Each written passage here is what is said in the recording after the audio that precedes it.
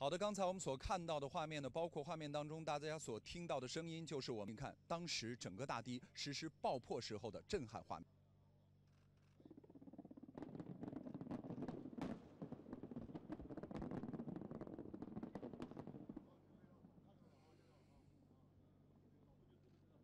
够发现，呃，埋在地下大概二点五米的炸药，在发生爆破的这一刻呢，其实它会将泥土顶向天空。那么三百三十多个炸点逐一爆破，在空中形成了一股爆破之后，我们可以看到整个的大堤现在已经是完全看不到它的踪影了。我们来看一看堤上现在的几个小的细节。首先，在我们旁的牛山湖的水位，在过去的两个小时当中的一个渐次发生爆炸的一个情景。而虽然我们在空中感，现在你看到以后的话，从昨天晚的我们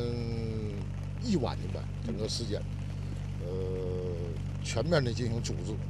然后设定，呃，最后实施以后的话，今天啊七点钟准时正式施暴，非常成功。两湖现在已经彻底呢，就是解决了一个原先阻断的，就是我们这个从牛山湖这个达到了真正啊。梁子湖变成了大面积的梁子湖。远处的这个水在注入到牛山湖之后呢，将会注入到身旁将近六点二万亩的这样一个巨大的水域当中。沿湖的堤岸，包括其他的这种道路，都在严密的监控的过程当中。所以，其实今天我们所做的所有的事情，都是和安全、和这座城市的安全、和未来面对更长的汛期的降雨的考验。